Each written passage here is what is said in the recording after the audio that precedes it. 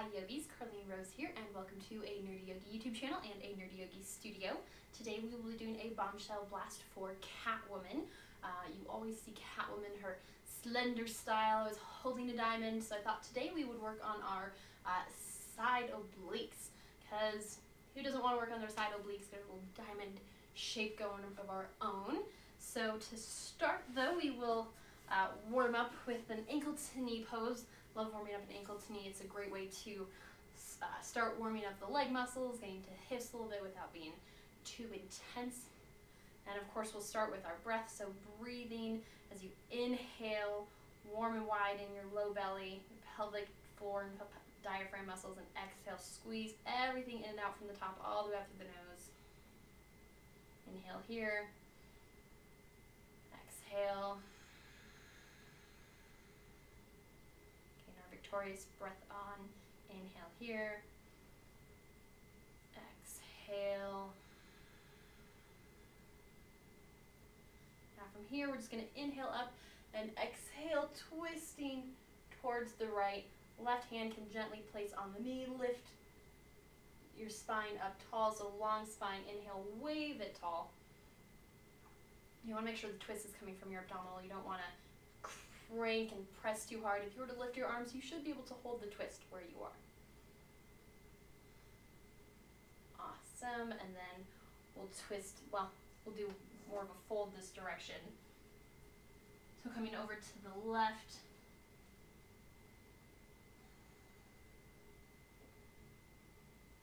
folding towards the left side, starting to open up the right side body.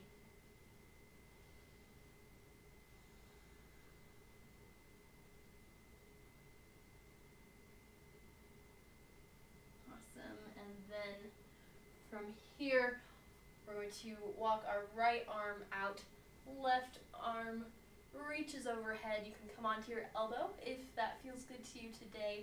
Find a comfortable position, but make sure that your left hip is staying grounded into the earth. You don't want to be leaning over so far that you're lifting up your hip. That defeats the purpose of this stretch.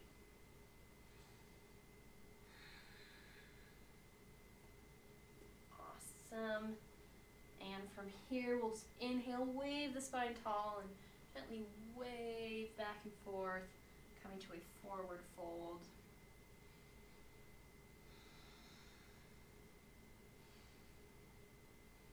Awesome. Walk yourself back up, and we'll switch legs. So this time left leg is on top, ankles and knees are aligned. And don't worry if your ankles and knees aren't touching, if your knees up here, because that's where your flexibility is right now, that's totally fine. Just don't press down on the knee. Just let it hang out where it is and let gravity do the work, especially uh, for right now while we're still warming up. So inhale again, starting with the breath.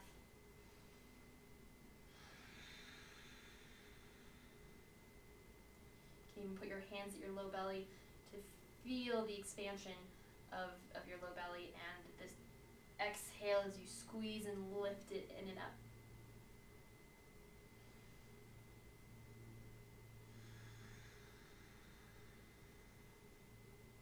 Awesome. Here, inhale up and twist to the left this time. Again, finding that twist first with the strength from your uh, side body. Wave the spine tall and then gently rest the hands to help support you in this position again, not to twist you further. You don't want to twist too far.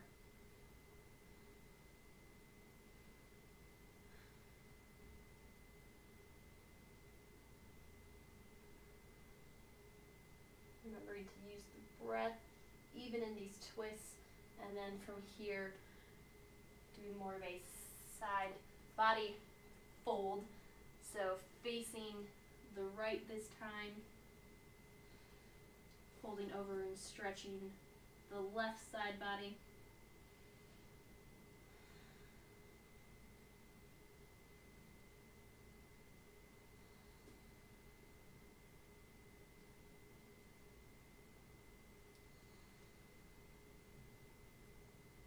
Awesome, and then of course our side stretch, so left arm reaches out, right arm extends over the ear, can come down onto your left elbow if that's feeling good to you today. And open up the right side. We're even getting into all the intercostals, the small muscles between our rib cage. You can look up to the elbow, you can look down to the floor. Find a comfortable position for your neck here.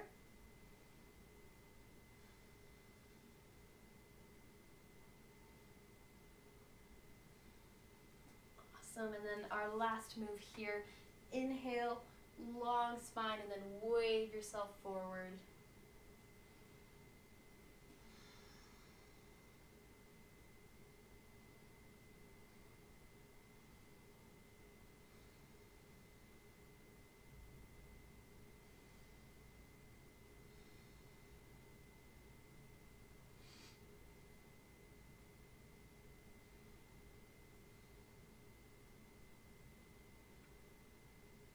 One last breath here. And walk yourself back up. Now we'll come into our hip move.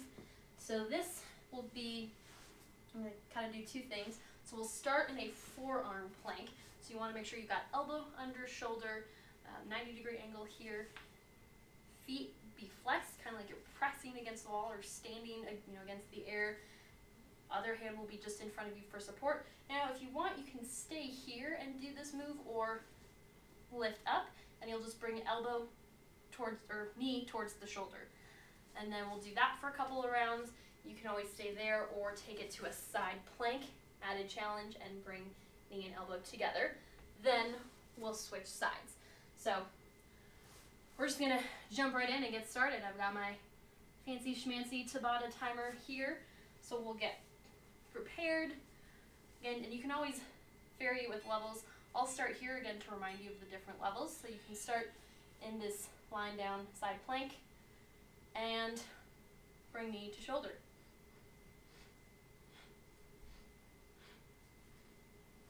Really getting into our obliques as we do these moves.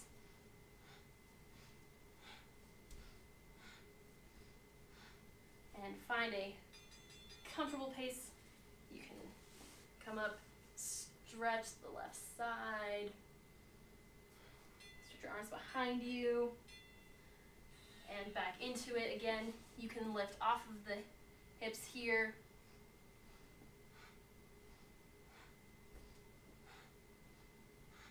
And if you prefer to just count your reps out with this one, I'm fine with that because it is um, quite, quite a few uh, reps and you might want to make sure that you're even on both sides, that's fine. Awesome, and here, stretch it out. Stretch out the arm. Kind of whatever you feel you need.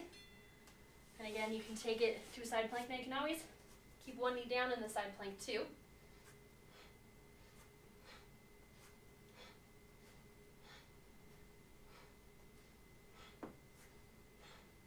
Bringing knee and elbow together.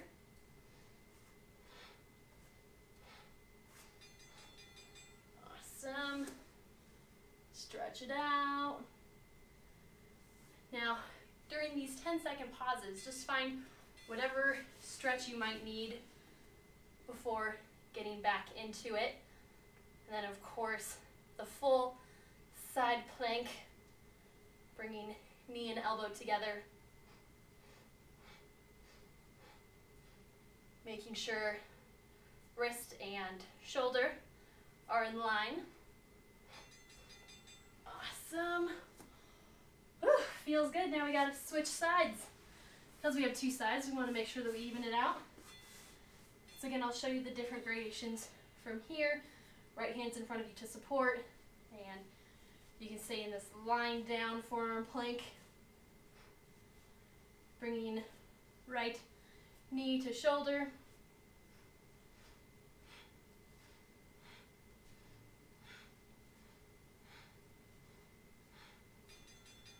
Awesome. Again, find whatever areas of stretch you might need, wherever you're feeling it. This is your 10 seconds. Then you hear the bell. Get back into it and come into a lifted forearm plank. Right hand is supporting you. But you don't want to be falling into the right hand. Like you could lift it away. if you wanted and still do the work. Just there to help keep your balance, keep your alignment while you're doing this. Awesome. Ooh, feeling it. Then of course you have the modified side plank version with knee on the ground, kind of at a diagonal behind you. As you bring right knee and elbow together.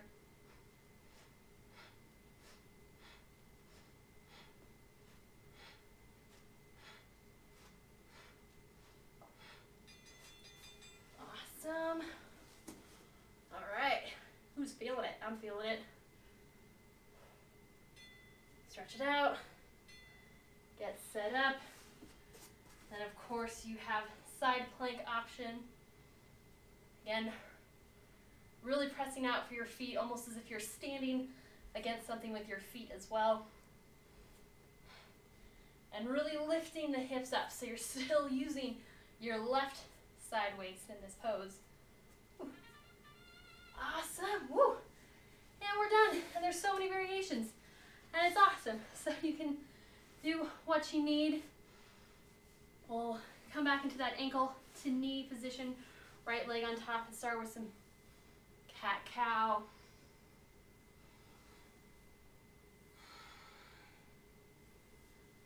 Just slowing the heart rate.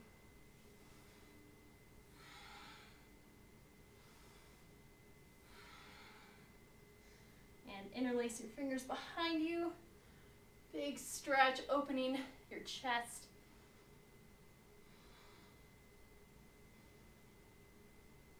Awesome. And then kind of the same moves from earlier. We'll reach our right arm out, left arm extends overhead. Getting into the stretch.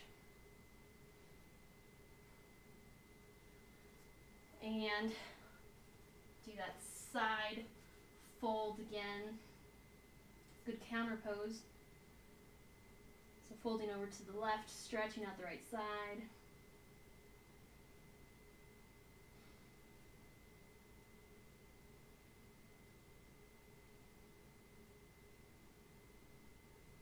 And walk yourself back up.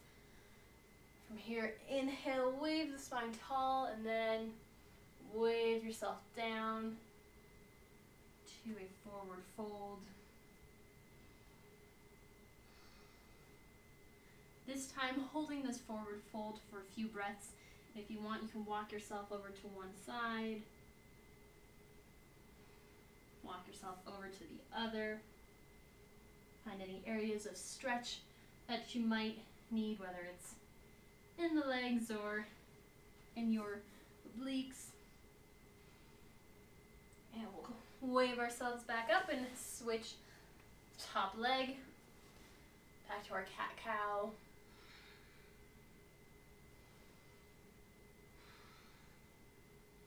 And you can rest your hands wherever is most comfortable, wherever you're feeling the stretch today.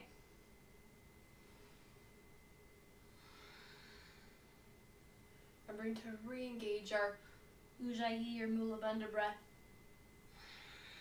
squeezing everything in and out. Interlace your fingers here behind you. Stretching open the chest again. And you can always alternate which finger you have uh, on top as well. Awesome. Then reach left arm out, right arm extends overhead, finding that comfortable stretch. Remember to keep the right hip grounded into the earth as you're doing this. Because it's about stretching here, not stretching the arm really long and lifting off the ground.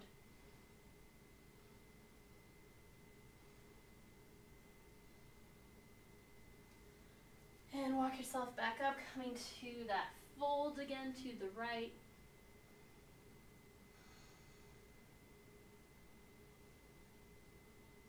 You can reach the left arm out longer if that feels good to you.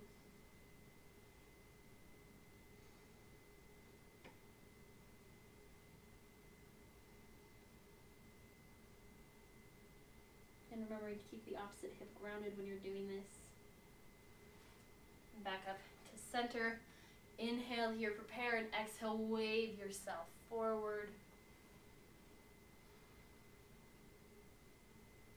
Again, holding this forward fold for a few extra breaths as you explore and find any areas of stretch that you might need today.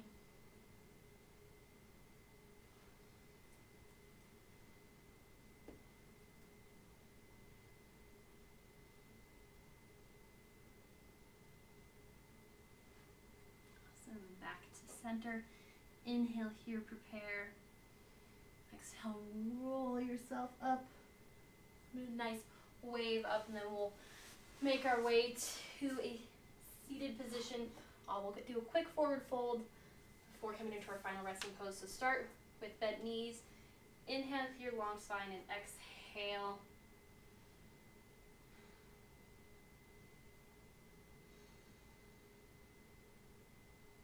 Make your way into that fold.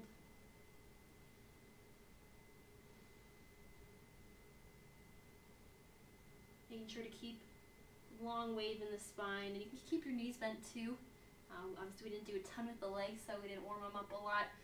You don't want to stretch too far too soon, so keep that gentle bend in the knees. Make sure that you're feeling the stretch in the muscles, not in the joints, and then you're just hanging out at your first edge of stretch. And then from here, roll yourself down, give yourself a hug. You can rock back and forth. Then let your legs extend long onto the mat, coming into your Shavasana final resting pose. You can, of course, take a moment to do any other stretches that you might need or be feeling today before coming to your final rest.